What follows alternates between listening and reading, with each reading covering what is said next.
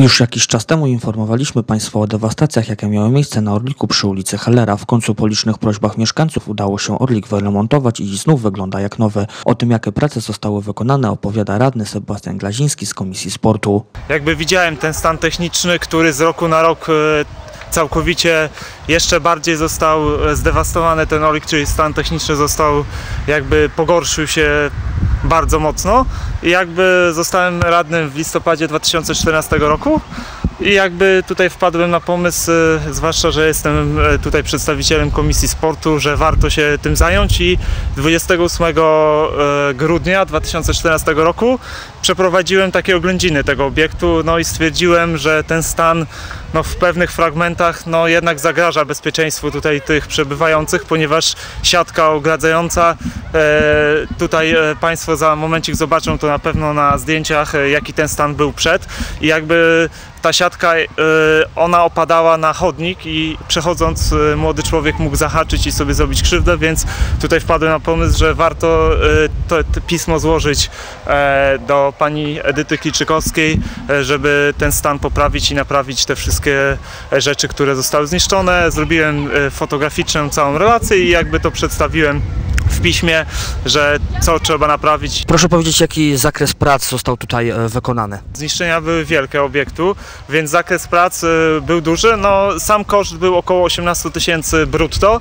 E, zrobiono e, za bramkami dwoma e, płot nowy, grubszy, z grubszej e, siatki o wysokości 4 metrów. To było 66 metrów bieżących.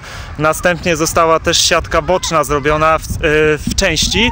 To było 104 metry bieżące, czyli wy, e, wysokość e, tu już była 2 metrów. Zrobiono dodatkowo, jeszcze naprawiono e, wiatę, e, która jakby tutaj też e, służy temu, żeby zostawić jakieś ubranie, żeby nie zmokło w trakcie gry i jakby tutaj zostało zniszczone boczne ściany, które zostały na nowe wymienione, także dach, a także okalające elementy stalowe, które też zostały wymienione. Następnie też zostało tutaj wymienione e, też system od, odwodnienia, zostało też e, wykonane e, grabienie tej nawierzchni, a także dosypany granulat, a także dodatkowe dwa wyjścia, które najczęściej w tym e, miejscu było e, traktowane jako miejsca do przechodzenia i wychodzenia po piłkę i tam największe jakby zniszczenia nastąpały. Więc jak tutaj widzimy, może koszt 18 tysięcy dla niektórych robić wrażenie, ale jakby ten tutaj e, zasób e, prac wykonanych został duży i jakby te zniszczenia były wielkie, dlatego mam nadzieję, że jakby ci, co korzystają z tego obiektu, wezmą sobie do serca i jakby sami będą pilnować tego, sami będą zwracać uwagę innym korzystającym, żeby niszczyli, a także okoliczni mieszkańcy też mogą dzwonić do Straży Miejskiej i zwrócić tutaj uwagę, czy, czy jest monitoring, który będzie na pewno nagrywał i będą wyciągane pewne konsekwencje wobec tych osób, co niszczą, bo jednak no Oh. Warto tutaj, żeby ten obiekt był w dobrym stanie, no bo on służy mieszkańcom, służy głównie młodym mieszkańcom, żeby, zwłaszcza, że niedługo mamy też wakacje, żeby korzystali jak trzeba z tego, no powiem szczerze, że jak ja pamiętam swoje dzieciństwo, to ja nie miałem takich warunków, e, żeby utrenować na byle jakich nawierzchniach e, często zagrażających też bezpieczeństwu się grało, no i człowiek był zadowolony, więc młodzi ludzie nie mają co narzekać, stan tej infrastruktury, mamy dwa takie obiekty, jest dobry. Warto dodać, że radni chcą, by w przyszłym roku na Orliku na Kościuszkach, podobnie jak to ma miejsce na obiekcie zlokalizowanym na Mariankach, postawić zaplecze sanitarne i zatrudnić animatora, który mógłby pilnować kompleksu. powiem szczerze, ręce załamywałem i było aż żal po prostu patrzeć na te zniszczenia.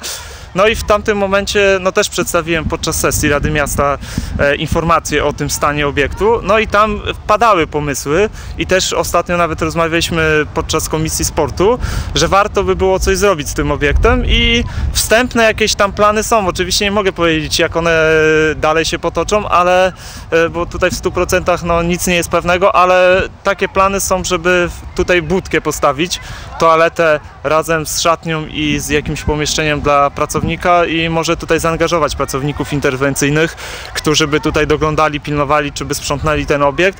E, Ja, takie plany mamy, żeby umieścić to w przyszłorocznym budżecie e, i żeby takie coś było. Natomiast no, zobaczymy, czas pokaże, czy uda się to zrealizować, ale takie wstępne plany mamy, bo chcemy, żeby ten obiekt jakby służył mieszkańcom i był w dobrym stanie, a jak widać na osiedlu Marianki, gdzie jest Orlik, bardzo dobrze się sprawdza, y, osoby pilnują i jakby tam zniszczeń takich nie mamy, nie widzimy. Po prostu tam głównie jest zużycie eksploatacyjne ze względu częstego korzystania z obiektu, a nie aktów wandalizmu, a tutaj na ulicy Halera mamy głównie problem z e, jakby niszczeniem przez wandali. Jakby te zużycie nie jest, tylko wandale jakby tu powodują te zniszczenia.